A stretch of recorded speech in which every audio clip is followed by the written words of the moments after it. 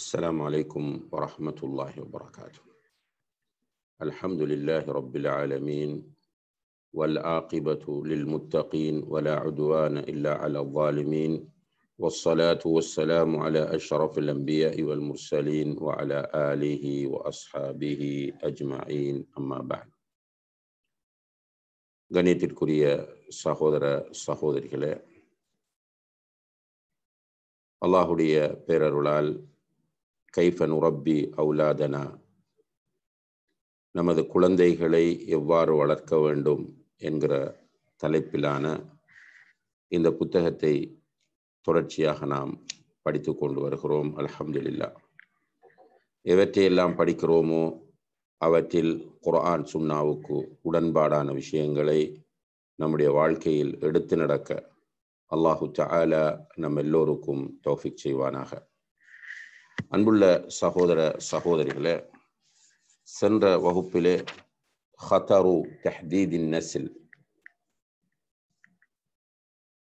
குடும்ப கட்டுப்பாட்டின் ஆபத்தான நிலை என்கிற தலைப்பில் சில முக்கியமான செய்திகளை நாம் தெரிந்து கொண்டோம்.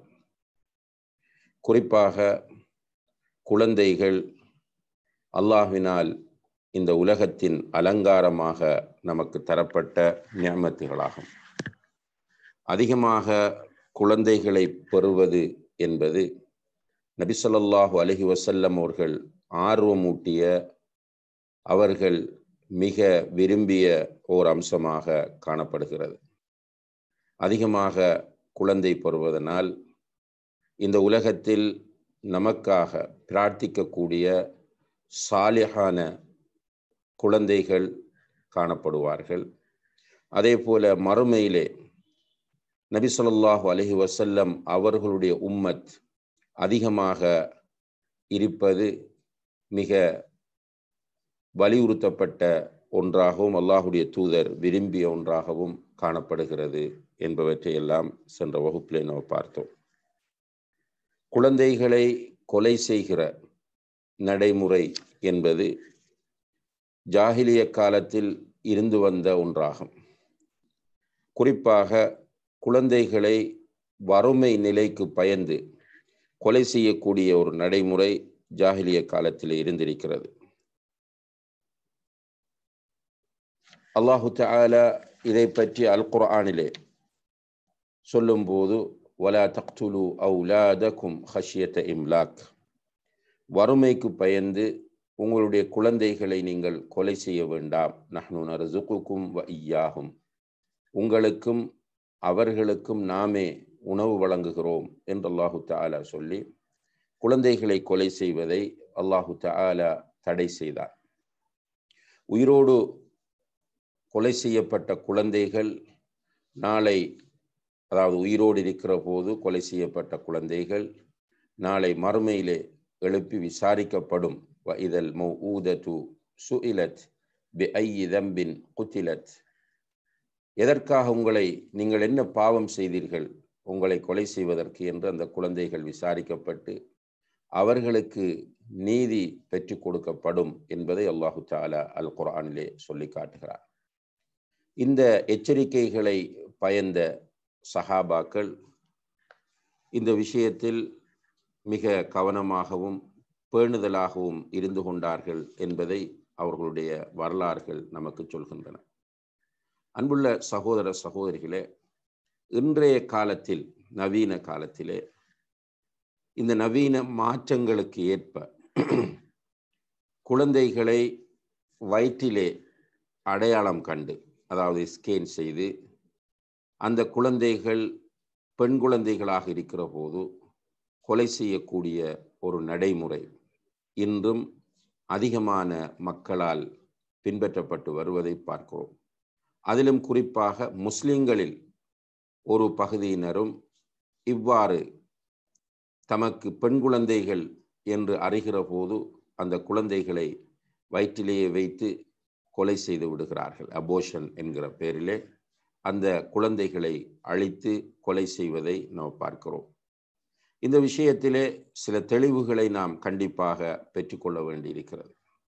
முதலாவதாக குடும்ப கட்டுப்பாடு என்பதை பொறுத்தவரையில் ஃபேமிலி பிளானிங் அன்புள்ள சகோதர சகோதரிகளே ஒருவர் தன்னுடைய மனைவியோடு தாம்பத்திய வாழ்க்கையில் ஈடுபடுகிற நேரத்தில் தற்போதைக்கு நமக்கு குழந்தை வேண்டாம் என்கிற ஒரு நிலை ஏற்படுமாக இருந்தால் தற்காலிகமாக அவர் குழந்தை உண்டாகாமல் கன்சீவ் ஆகாமல் தாம்பத்தியத்தில் ஈடுபடுவதற்கான முன்னெச்சரிக்கை நடவடிக்கைகளிலே ஈடுபடுவதற்கு மார்க்கத்திலே அனுமதி இருக்கிறது.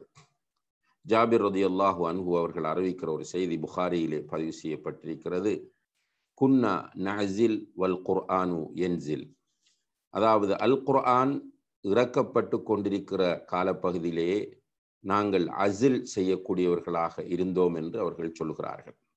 அசில் என்பது ஒரு கணவன் தன்னுடைய மனைவியோடு தாம்பத்தியத்தில் ஈடுபடுகிற சந்தர்ப்பத்தில் அவருடைய இந்திரியம் வெளியாகிற நேரத்தில் இந்திரியத்தை மனைவியினுடைய கற்பப்பையிலே செலுத்தாமல் அதை வெளியிலே எடுத்து விடுவதைத்தான் அசில் என்று சொல்லப்படும். இந்த அசில் என்கிற குடும்ப கட்டுப்பாட்டு நடைமுறை சஹாபாக்கள் மத்தியிலே இருந்திருக்கிறது. இது பிரபல்யமாக இருந்திருக்கிறது. அல்லாஹுடைய தூதர் சல்லல்லாஹு அலஹி வசல்லம் அவர்கள் இது அறிந்தும் தடை விதிக்கவில்லை. எனவே இவ்வாறு ஒருவர் தற்காலிகமாக தன்னுடைய மனைவி கருத்தரிக்க வேண்டாம் என்று நினைத்து இவ்வாறான கட்டுப்பாடுகளை செய்வது என்பது மார்க்கத்திலே அனுமதிக்கப்பட்டதாகும். இப்போ நவீன கால வளர்ச்சியிலே பல நவீன முறைகளை மருத்துவர்கள் என்று அறிமுகப்படுத்தியிருக்கிறார்கள். அந்த முறைகளை சிம்பிளாக நாம் புரிந்து கொள்வதாக இருந்தால் அவற்றில் நம்முடைய அதாவது பெண்ணுடைய உடலுக்கு பாதிப்பை ஏற்படுத்தாத அத்தனை முறைகளிலும் தற்காலிகமான குடும்ப கட்டுப்பாட்டில் ஈடுபடுவது கூடும் என்பதுதான் மார்க்கம் நமக்கு காட்டக்கூடிய வழிகாட்டலாக இருந்து கொண்டிருக்கிறது. அந்த வகையில் சிலர் இன்ஜெக்ஷன் போடுவார்கள். சிலர் லூப் போன்றவற்றை பயன்படுத்துவார்கள். இன்னும் பல வழிமுறைகளை பலரும் பயன்படுத்துவேனோ பார்க்கிறோம். இதிலே மார்க்கத்தில் தடை எது என்று கேட்டால் ஏதாவது ஒரு வழிமுறை பெண்ணை பாதிக்குமாக இருந்தால் பெண்ணுடைய உடல்நிலையை பாதிக்குமாக இருந்தால் அது கூடாது. அவ்வாறு பாதிப்பு இல்லாமல் இருக்குமாக இருந்தால் தற்காலிகமான குடும்ப கட்டுப்பாட்டு முறைகள் இஸ்லாத்திலே அனுமதிக்கப்பட்டிருக்கிறது என்பதை நாம் புரிந்து கொள்ளலாம். இரண்டாவதாக நிரந்தரமாக கருத்தரிக்காமல் செய்வது. நிரந்தர கரு அதாவது கருத்தரிக்க தரிப்பதற்கான தடையை ஏற்படுத்துவது. இது பற்றி மார்க்கம் என்ன சொல்கிறது என்று கேட்டால் உண்மையிலே அன்புள்ள சகோதர சகோதரிகளே குழந்தை பாக்கியம் என்பது அல்லாஹ் தரக்கூடிய மிகப்பெரிய ஒரு நியமத்தாகும். அல்லாஹுடைய நியமத்தை ஒரு மனிதன் தனக்கு வேண்டாம் என்று ஆக்குவது என்பது உண்மையிலே அவன் தனக்கு இழைத்து கொள்ளக்கூடிய மிகப்பெரிய ஒரு அநீதியாகும். ஒருவருக்கு இரண்டு மூன்று குழந்தைகள் இருக்கின்றன. இதற்கு பிறகு நமக்கு குழந்தை வேண்டாம் என்று அவர்கள் நிரந்தரமான குடும்ப கட்டுப்பாடு செய்கிறார்கள். கடைசியிலே அல்லாஹுடைய கதிரின் அடிப்படையில் அந்த குழந்தைகள் மூன்றும் வஃத்தாகி விடுகிற போது தனக்கு ஒரு குழந்தை வேண்டும் என்று இவர் ஆசைப்பட்டாலும் குழந்தை பெற்றுக்கொள்வதற்கான வாய்ப்பை அவர் தானாகவே இல்லாமல் செய்ததனால் அந்த பாக்கியம் அவருக்கு இல்லாமல் போய்விடுகிறது. எனவே நிரந்தரமாக குடும்ப கட்டுப்பாடு செய்வது என்பது ரசூல் சல்லாஹ் அலை வசல்லம் அவர்கள் அதிகமாக குழந்தைகளை பெற்றுக்கொள்ளுங்கள் என்கிற ஹதீஸோடு நேரடியாக மோதக்கூடிய ஒன்றாகும். இரண்டாவது அல்லாஹுடைய நியமத்தை வெறுப்பதாகும். மூன்றாவது தனக்குத்தானே அநீதி இழைத்துக் கொள்வதாகும். எனவே நிரந்தர குடும்ப கட்டுப்பாடு அதாவது நிரந்தரமாக ஒரு பெண் கருத்தரிக்காமல் மருத்துவ ரீதியாக அதற்கான ஏற்பாடுகளை செய்வது என்பது இஸ்லாம் தடை செய்த ஒரு விஷயம் என்பதை நாம் கவனத்திலே கொள்ள வேண்டும். பொதுவாக இன்று இஸ்லாத்தின் எதிரிகள் குறிப்பாக நம்முடைய சமூக மக்களுடைய எண்ணிக்கை அதிகரித்து கொண்டு போவதை பார்க்கிற போது அதை கட்டுப்படுத்த வேண்டும் என்று திட்டமிட்ட அடிப்படையிலும் அல்லது ஒரு வெறுப்பின் அடிப்படையிலும். சில நேரங்களில் திட்டமிட்டு இதற்கான வேலை திட்டங்கள் நடைபெறுகின்றன. சில நேரங்களில் வெறுப்போடு நடைபெறுகிறது. அதாவது தனி மனிதர்கள் அவர்களுக்கு ஏற்படக்கூடிய காழ்ப்புணர்வுகள் வெறுப்புகளால் நடந்து கொள்கிறார்கள். எனவே அதிகமான ஹாஸ்பிட்டல்களிலே நீங்கள் போனால் எத்தனையாவது குழந்தை என்று கேட்பார்கள். கேட்டுவிட்டு நிரந்தரமாக குடும்ப கட்டுப்பாடு செய்வதற்கு அவர்கள் நம்மை மோட்டிவேட் பண்ணுவார்கள். இந்த நேரங்களில் பெண்கள் கவனமாக இருக்க வேண்டும். அதே போல கணவன்மாரும் மிக எச்சரிக்கையோடு இருந்து கொள்ள வேண்டும். தற்காலிகமான குடும்ப கட்டுப்பாடுகளை நாம் பயன்படுத்தலாம். ஆனால் நிரந்தரமான குடும்ப கட்டுப்பாட்டை செய்வது இஸ்லாத்தில் தடை செய்யப்பட்ட ஒரு பாவம் என்பதை நாம் புரிந்து கொள்ளலாம். அடுத்ததாக அன்புள்ள சகோதர சகோதரிகளே கருத்தரித்த பிறகு கரு கலைப்பது. கரு தரித்த பிறகு கருவை கலைப்பதை பொறுத்தவரையில் இதை இஸ்லாம் நமக்கு தடை செய்திருக்கிறது. இது ஒரு ஒரு ஒரு கொலை முயற்சியாகவே கொல்ல கொல்லப்படும். அதிலும் குறிப்பாக கருத்தரித்து ஒரு நான்கு மாதங்கள் போய்விட்டால் கருத்தரித்து நான்கு மாதங்கள் போய்விட்டால் அதற்கு பிறகு கருக்கலைப்பது என்பது தெளிவான கொலையாகும் என்று உலமாக்கள் குறிப்பிடுகிறார்கள். ஏனென்றால் கருத்தரித்து நான்காவது மாதத்திலே குழந்தைக்கு உயிர் ஊதப்படுகிறது. அப்போ உயிர் ஊதப்பட்ட பிறகு அது வெளியில் வைத்து கொலை செய்தாலும் வயிற்றில் வைத்து கொலை செய்தாலும் இரண்டும் கொலையாகவே கருதப்படும். எனவே சாதாரணமான ஒரு பாவம் அல்ல. நான்கு மாதங்கள் நிறைவடைந்த பிறகு ஒரு கருவை கலைப்பது என்பது ஒரு கொலையாகும். கொலை என்பது சாதாரணமான ஒரு பாவம் அல்ல என்பது நம் எல்லோருக்குமே தெரிந்த ஒன்றாகும். எனவே இந்த மா பாதக செயலை செய்யக்கூடியவர்கள் அல்லாஹுவை அஞ்சிக் கொள்ள வேண்டும். எந்த ஒரு காரணத்திற்காகவும் நான்கு மாதங்கள் முடிந்த பிறகு கருக்கலைப்பது என்பது இஸ்லாத்தில் அனுமதிக்கப்படவில்லை. எந்த ஒரு காரணத்திற்காகவும். அது தாயுடைய உயிருக்கு ஆபத்தாக இருந்தாலும் சரி குழந்தையுடைய உயிருக்கு ஆபத்தாக இருந்தாலும் சரி அல்லது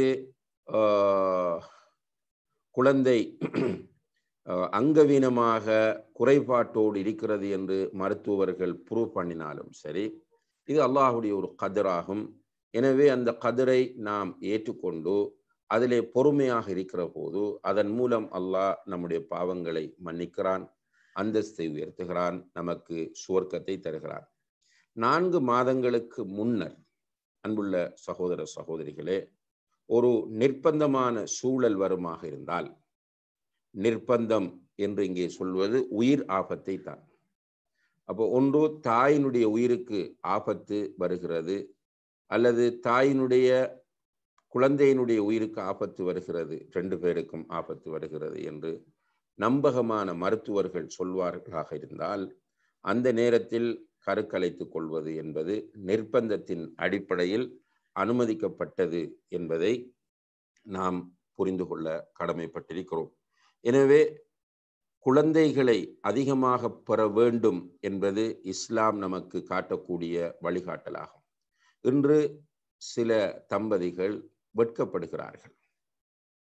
ஒரு ஒரு குறையாக நினைக்கிறார்கள் அதிகமாக குழந்தை பெறுவது. எந்த அடிப்படையில் அது குறை என்பதை அவர்கள் சிந்திக்க தவறிவிடுகிறார்கள் பாவங்களை ப பகிரங்கமாக செய்கிறார்கள். விபச்சாரம் நடைபெறுகிறது. வேறு பெண்களோடு தகாத உறவுகளை வைத்திருக்கிறார்கள். வேறு ஆண்களோடு பிழையான தொடர்புகளை வைத்திருக்கிறார்கள். எல்லாம் சாதாரணமாக நடக்கிறது. அந்த இடங்களில் எதுவுமே வெட்கம் வரவில்லை. சங்கடம் வரவில்லை. உங்களுக்கு எத்தனை குழந்தை என்று கேட்டால் ஐந்து குழந்தை ஏழு குழந்தை என்று சொல்வதற்கு நிறைய பேருக்கு சங்கடம் இருப்பதை நம்ம பார்க்கிறோம். இந்த மனநிலை மாற்றப்பட வேண்டும். இது ஒரு பிழையான மனநிலையாகும். இது ஷைத்தான் தரக்கூடிய ஒரு மனநிலையாகும். உண்மையிலே குழந்தை நிறைய பெறக்கூடிய வாய்ப்பு இருக்குமாக இருந்தால் பெண்ணுடைய உடல் வலிமை அதற்கு இடம் தருகிறது என்று சொன்னால் நாம் அல்லாஹ் மீது தவக்குள் வைத்து அதிகமாக குழந்தைகளை பெற்றுக்கொள்வதுதான் சிறந்ததாகும். இப்போ ஒரு குழந்தை பெறு பெறுவதற்கு என்ன ப்ரொசஸிங்கோ அதே ப்ரொசஸிங் தான் ஒன்பது குழந்தை பெறுவதற்கும் என்ற இந்த அடிப்படை அம்சம் தெரியுமாக இருந்தால் இதை சரியாக புரிந்து கொள்வோமாக இருந்தால் நிச்சயமாக அன்புள்ள சகோதர சகோதரிகளே குழந்தை பெறுவதற்கு யாரும் வெட்கப்பட மாட்டார்கள். சென்ற வகுப்பிலே நாம் சுட்டிக்காட்டியது போல இன்று சிலர் ஒரு குழந்தை அல்லது இரண்டு குழந்தை மூன்று குழந்தை என்று போதுமாக்கி கொள்கிறார்கள். போதுமாக்கி விட்டு அவர்கள் பிறகு பிள்ளைகளை திருமணம் முடித்து வேறு வேறு நாடுகளுக்கு வேறு வேறு ஊர்களுக்கு அனுப்பிவிட்டு பெற்றோர் முதியோர் இல்லங்களிலே வாழ்கிற நிலைகளையும் பார்க்கிறோம். சில நேரங்களிலே வீட்டிலே வேலைக்காரர்களை வைத்து கொண்டிருக்க வேண்டிய நிலையை பார்க்கிறோம். மருத்துவமனைகளிலே அனுமதிக்கப்பட்ட பிறகு இவர்களுக்கு உதவிக்கு ஆளில்லாத நிலையை பார்க்கிறோம். உண்மையிலேயே முதுமை அடையும் போது உடல் பலவீனம் அடைகிற அதே நேரத்தில் மனோரீதியிலும் பலவீனம் ஏற்படும் அந்த நேரத்தில் தான் நமக்கு பக்கத்திலே நின்று பணிவிடை செய்வதற்கு நம்முடைய பிள்ளைகள் தேவைப்படுகிறார்கள் அல்லாஹும் அல் குர்ஆனிலே சொல்லுகிற போது وقضى ربك ألا تعبدوا إلا إياه وبالوالدين إحسانا அல்லாஹ் அவனை தவிர வேறு யாரையும் வணங்கக்கூடாது என்று உங்களுக்கு கட்டளையிட்டிருக்கிறான். அதுபோல பெற்றோரோடு நல்ல முறையில் நடந்து கொள்ள வேண்டும் என்றும் கட்டளையிட்டிருக்கிறான் என்று சொல்லிவிட்டு இம்மா எபுலுகன் ஐந்தக்கல் கிபர அஹதுஹுமா அவு கிலாஹுமா. அவர்களில் ஒருவரோ அல்லது இருவருமோ உன்னிடம் இருக்கிற நிலையில் அவர்கள் முதுமையை அடைந்து விட்டால் என்று முதுமையான நிலையில் அவர்களோடு எப்படி நடக்க வேண்டும் என்பதை அல்லாஹ் சொல்லுகிறான். ஃபலா தக்குல்லஹுமா உஃப். அவர்களை பார்த்து நீ சி என்று சொல்ல வேண்டாம். வலா தன்ஹர்ஹுமா. அவர்களை நீ கண்டிக்க வேண்டாம். வஹ்ஃபித் லஹுமா ஜனாஹ துல்லி மீனர் ரஹ்மா. அவர்களோடு மிக இரக்கமாகவும் பணிவோடும் நீ நடந்து கொள்ள வேண்டும். அவர்களுக்கு எப்போதும் துவா செய்து கொண்டிருக்க வேண்டும் என்று அல்லாஹு தாலா வழிகாட்டுகிறான். ஏனென்றால் முதுமையை அடைந்த ஒருவர் மன உளைச்சலுக்கு உள்ளாகுவார். உடல் பலவீனம் அடையும். அந்த நேரத்தில் தன்னுடைய பிள்ளைகளின் அரவணைப்பும் பக்க பலமும் அவர்களுக்கு தேவைப்படும். இப்ப இந்த நேரத்தில் தான் நாம் ஏன் ஒரு நான்கு குழந்தைகளை பெற்றுக்கொள்ள தவறினோம்? ஏன் நாம் ஒரு ஐந்து குழந்தைகளை பெறாமல் போனோம் என்கிற கை சேதம்பரம் ஒன்றும் செய்ய முடியாது. எனவே உடலில் வலிமை இருக்கிற போது அன்புள்ள சகோதர சகோதரிகளே அதிகமாக குழந்தை பெற முடியுமானவர்கள் அதை செய்து கொள்ள வேண்டும். இதிலே சங்கடப்படுவதற்கு எதுவுமே இல்லை. வெட்கப்படுவதற்கு எதுவுமே இல்லை. நிச்சயமாக நபிகள் நாயம் சல்லா அலிஸ்லம் அவர்களை மகிழ்வூட்டக்கூடிய அவர்களை சந்தோஷப்படுத்தக்கூடிய ஒரு விஷயம்தான் அதிகமாக குழந்தை பெறுவது என்பது. அல்லாஹுக்கு மிக விருப்பமான ஒரு விஷயம்தான் அதிகமாக குழந்தை பெறுவது என்பதை நாம் கண்டிப்பாக புரிந்து கொள்ள வேண்டும். அதே நேரத்திலே அன்புள்ள சகோதர சகோதரிகளே குழந்தைகளை வயிற்றில் வைத்து கொலை செய்வதோ அல்லது எனக்கு குழந்தையை வேண்டாம் என்று அல்லாஹுடைய நியமத்தை ரிஜெக்ட் பண்ணுவதோ நிச்சயமாக பயங்கரமான அநியாயமும் குற்றமுமாகும். எல்லாம் வல்ல அல்லா ஜல்லஷானு தாலா அவ்வாறான பாவங்களிலிருந்து நம்மையும் நம்முடைய சமுதாயத்தை சேர்ந்தவர்களையும் பாதுகாக்க வேண்டும். அதிகமாக குழந்தைகளை பெறக்கூடிய வாய்ப்பிருக்கும் போது பெற்றுக்கொள்ள வேண்டும். அந்த குழந்தைகளை சாலிஹான குழந்தைகளாக வளர்த்தெடுக்க வேண்டும். அது நம்முடைய தோள்கள் மீது சுமத்தப்பட்ட அமானிதமாகும் எல்லாம் வல்ல அல்லாஹு தாலா அதற்கு நம் எல்லோருக்கும் தௌஃபிக் செய்வானாக وآخر دعوانا أن الحمد لله رب العالمين والسلام عليكم ورحمة الله وبركاته سبحانك اللهم وبحمدك أشهد أن لا إله إلا أنت أستغفرك وأتوب إليك